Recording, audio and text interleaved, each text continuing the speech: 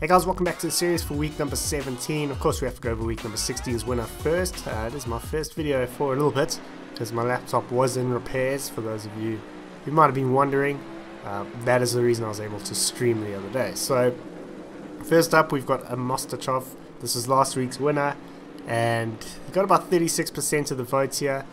The first ever Assetto Corsa Competizione clip. He's in the Bentley, as you can probably tell by the the camera is following that car. And he's made a mistake earlier on in the lap at Raidillon and lost out quite a bit to these two Mercedes in front of him. Uh, but coming to Blanchimont, he seems to be catching up to them as they start jostling. And he's going to get past the blue Mercedes, which I initially expected him to get past the green one because he's the one who made the mistake at Stavelot. Um, but now as we come through to the bus stop, very last corner of the race, uh, the green Mercedes actually got a fair bit of a lead there. You'd expect him to hold on to that, but he's going to run a little bit deep into the bus stop. Uh, he's going to take the perfect line there, Mostochov that is, and he's going to just sneak it on, on the inside and manage to take the win after a hell of a comeback from a poor start to the lap. So, first up this week, short and sweet from Sir Lagalot. Uh, don't use a lot of class clips, uh, but when it's a clip like this, sticking on the inside and getting past four guys uh, you got to use it. So next up we've got Jackal. we've got two two camera angles for this one. So initially when I saw this, I thought he messed up this corner because you can't see the radar, but there is actually a guy on the inside. That's why he's running a bit deep. This is Autopolis, for those of you wondering.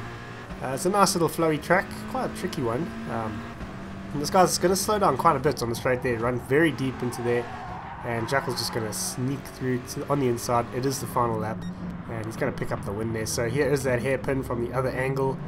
Uh, the guy's going to get a fairly comfortable overtake there.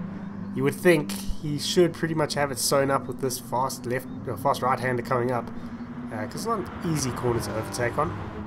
But it is if the guy runs it a bit deeper. It's easier anyway. So very nice clip there from Jackal. And next up we are back on Forza with uh, scored Buffalo.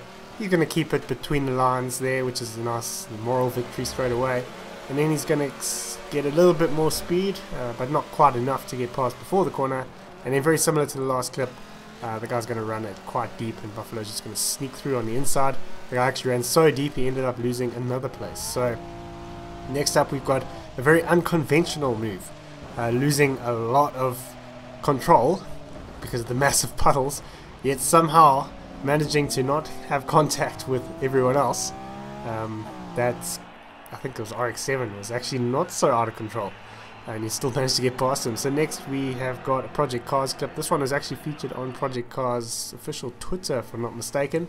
Now if you haven't played this game, these cars are a nightmare to drive. I've driven them once or twice and they just they have so much liftoff oversteer. And uh, yeah, this is also Hockenheim Short. So if you're a Forza player, you're going to see a very big difference here. Uh, this is after coming into the third or fourth corner. It's a fast right-hander, fast-ish right-hander in Forza, but in this, it's actually a bit of a chicane. Uh, first time I did that, I was very taken aback. Uh, but this battle is not over yet. Uh, these guys are going to be side by side, literally the entire lap. Which, you know, if you saw this on TV, you'd be pretty riveted by it. Uh, so this is just fantastic racing from both these guys. On the outside, he's still not going to lose too much room through the Sachs curve. And then through to this part of the track, which is quite difficult to keep it too wide. Uh, he's going to just nudge in front there. Hopefully have enough through the last corner, and he is indeed going to make it stick. It went on for a bit longer, uh, but he was in front for the rest of the clip. So finally we've got Wolves here racing in uh, the race regulations cycle production hopper right on the inside here on Sonoma of on FRF Novato Novato have not heard of him before so but he's an FRF so he's got to be decent and then coming to this double apex right-hander. It's actually going to go around the outside and make it stick. So very impressive there. Guys actually got it on the curb, probably giving a bit too much room there, uh, which was a bit of his downfall. So next we are on to a bonus clip.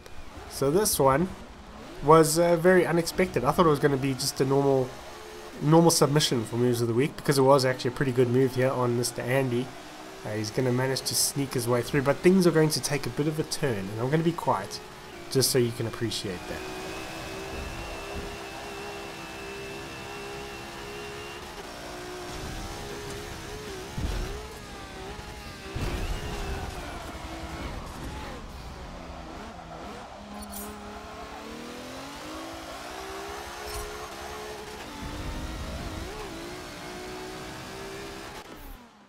Yeah, they had us the first half. I'm not gonna lie. Yeah, so that clip definitely took me by surprise. I was not expecting that at all. Uh, so yeah guys, I hope you've enjoyed the video. If you have, go ahead and leave a like. If you're new around here, go ahead and subscribe. If you'd like to submit your clips, uh, my Discord link is in the description. If you'd like to get your name at the end of every single video, the Patreon link is in the description and up here.